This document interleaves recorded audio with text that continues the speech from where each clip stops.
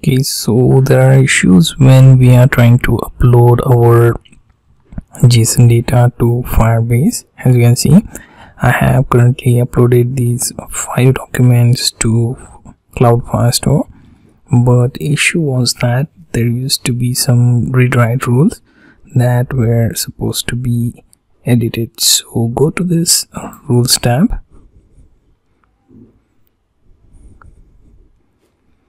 now here you will find that there is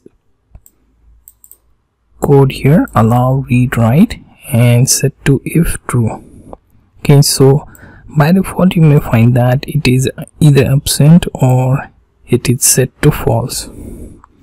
So what you have to do is type in allow in space read comma then write colon if true semicolon okay so this is the change that will allow you to upload your documents and you will be able to successfully upload your data. As you can see in my collection i managed to upload this.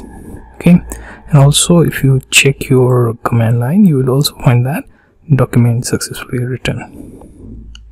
And those ids will be also fetched back if you have written such functions. Okay so the thing is about rules within cloud firestore you just have to go to that match document method and allow read write set to if true